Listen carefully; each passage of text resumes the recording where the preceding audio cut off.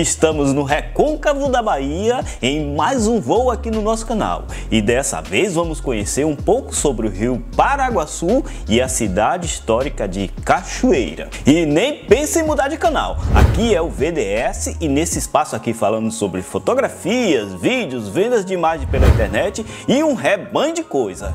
E eu sou Joa Souza, sou fotógrafo, eu produzo fotografias e vídeos para serem vendidos em bancos de imagem. E para você acompanhar tudo que se passa por aqui, acho melhor você se inscrever nesse canal e também ativar o sininho das notificações e não esquece de sapecar o like no vídeo.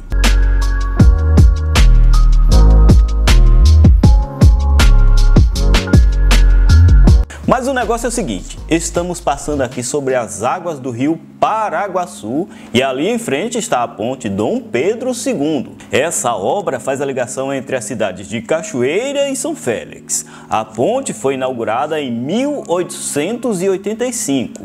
Seu lastro é de ferro e madeira importados da Inglaterra e mede 365 metros de comprimento e 9 metros de largura. Ela faz a travessia de pedestres, veículos e também utilizado pelo transporte ferroviário. Aqui passa trem de carga de verdade, viu?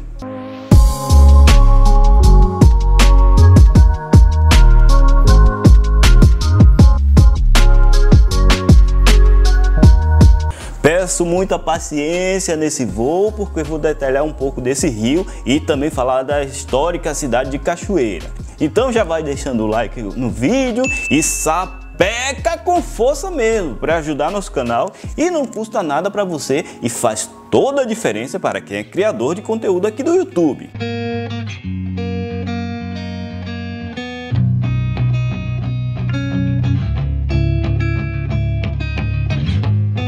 E o Rio Paraguaçu é o maior rio da Bahia como se diz aqui na nossa terra, é nascido e criado em terras da Bahia. Sua nascente é no município de Barra do Estiva, na região da Chapada Diamantina, e percorre 600 quilômetros até chegar à Baía de Todos os Santos, entre os municípios de Maragogipe e Salbara. Aqui na região de Cachoeira, essa parte do rio é navegável até a Baía de Todos os Santos.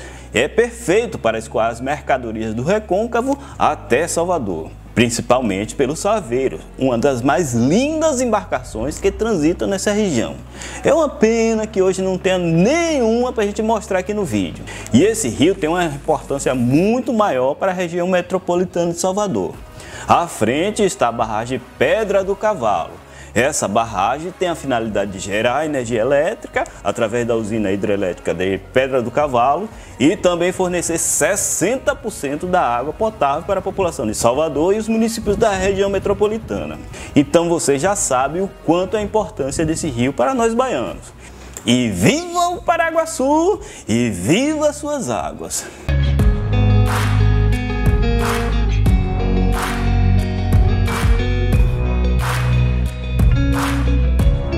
E do outro lado fica a cidade de São Félix, que, segundo dados do IBGE, tem 14.784 habitantes. Mas não vamos falar muito de São Félix, vou deixar para detalhar melhor em outro vídeo.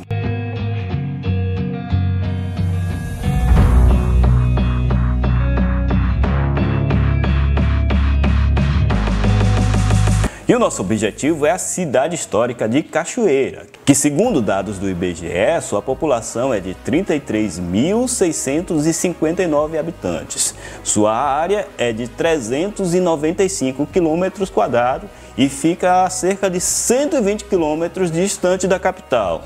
Cachoeira é uma das cidades baianas que mais preservam a sua identidade cultural e histórica. E é fácil de perceber por conta da arquitetura em estilo colonial, dos casarões e de suas igrejas.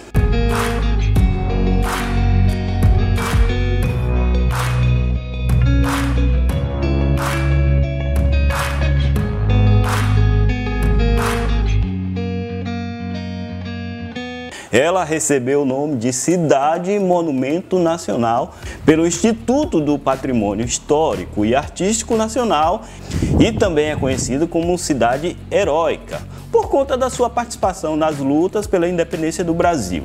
Aqui nessa região, que era conhecida como Vila Nossa Senhora do Rosário do Porto de Cachoeira, que no dia 25 de julho de 1822, portugueses e brasileiros se enfrentaram em um conflito de três dias, marcando os primeiros passos para a independência do Brasil aqui na Bahia.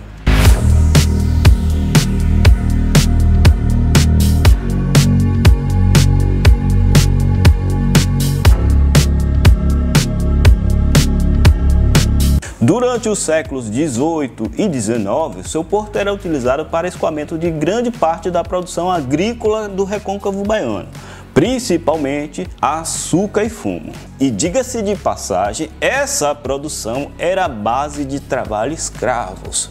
Homens e mulheres negras foram capturados na África e trazidos para cá para serem vendidos como se fossem mercadorias. É triste essa página da nossa história, mas é realidade.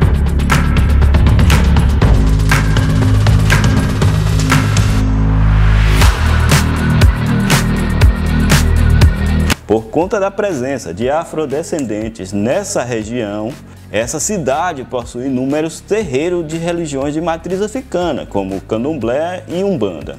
Deixa eu só perguntar uma coisa para você. Você já conhece essa cidade? E de qual cidade você está assistindo nossos vídeos? Deixa aí nos comentários que eu quero muito saber disso, viu?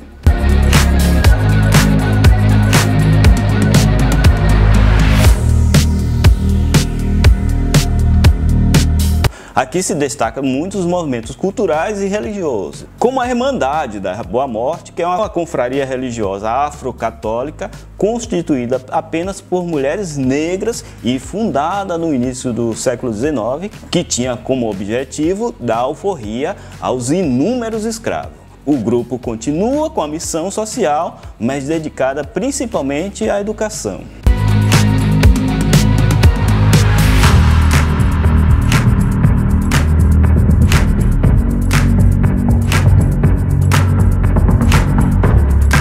E você que é de Cachoeira, deixa aí nos comentários do vídeo, viu? Que eu quero saber. Se você é de São Félix, também comenta o vídeo e sapeca o like.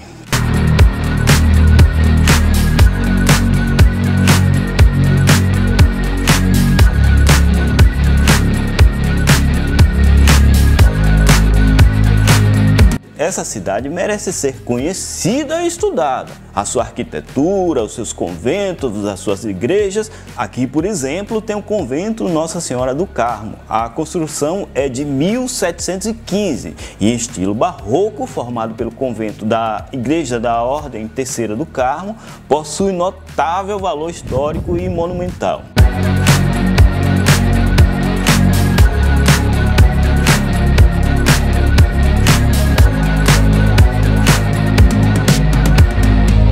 Casa da Câmara de Cadeia Pública, construída em 1698, a Igreja Matriz Nossa Senhora do Rosário, construída do século XVIII, e também a Igreja Nossa Senhora da Ajuda, construída em 1687. Sem contar os inúmeros casarões e a simpatia desse povo aqui, amigo, nem se fala, viu?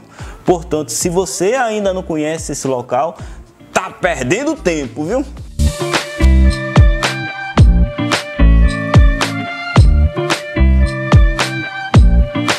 Para você que assistiu o nosso vídeo e acha importante esse espaço aqui no YouTube, saiba que você pode ajudar nosso trabalho. Eu falo de ajuda financeira mesmo. Dessa forma, posso me dedicar ainda mais no projeto de documentar outras cidades e contar outras histórias. E essa ajuda pode ser feita por meio de um Pix, tá aí a chave e também fazendo um Valeu Demais. E aproveito também a oportunidade para agradecer as pessoas que já contribuíram. Meu muito obrigado por isso.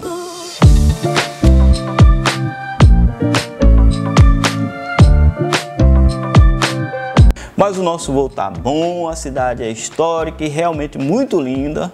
Reforço a importância da preservação do Rio Paraguaçu. E para você que assistiu o nosso vídeo até aqui, fica meu muito obrigado pela sua participação. Se puder, deixe um comentário para saber o que achou do nosso trabalho.